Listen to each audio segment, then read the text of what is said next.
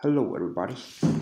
Uh, today I'm going to share with you a very very useful tip uh, that you know uh, this single tip uh, helped my site achieve really really high uh, page page speed score and uh, let me show you the, the, the tip in action so um, this is my site ttp wpleadplus.com and we analyze uh, the page to see is current score pretty, pretty slow up pretty low uh, 58 and desktop uh, 75 and so mm, you know uh, this is uh, not this is not a good score.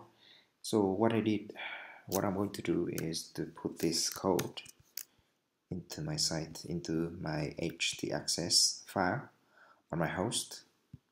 So um, if you don't know what htaccess uh, 5 is, it is a file uh, usually uh, usually uh, in your your your root folder of your website.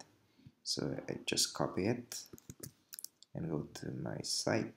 This is my htaccess file and I simply I paste the code in. And um, you know I click on save and go back and click on analyze again.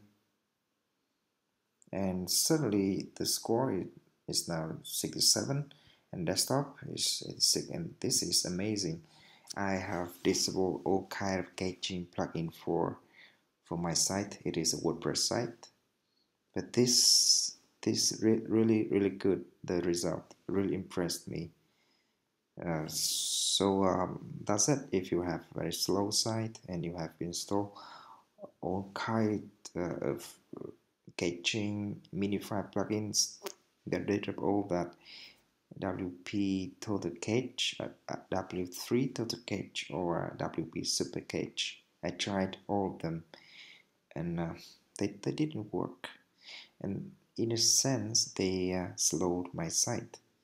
So that is how you know I still have some some some improve improve need to you know some something need to be improved. But you can see just one simple code that can greatly improve the the size score and I think it's amazing so uh, thank you for watching and um, if I find uh, not another tip to fix these things uh, I will make another video. Yeah, goodbye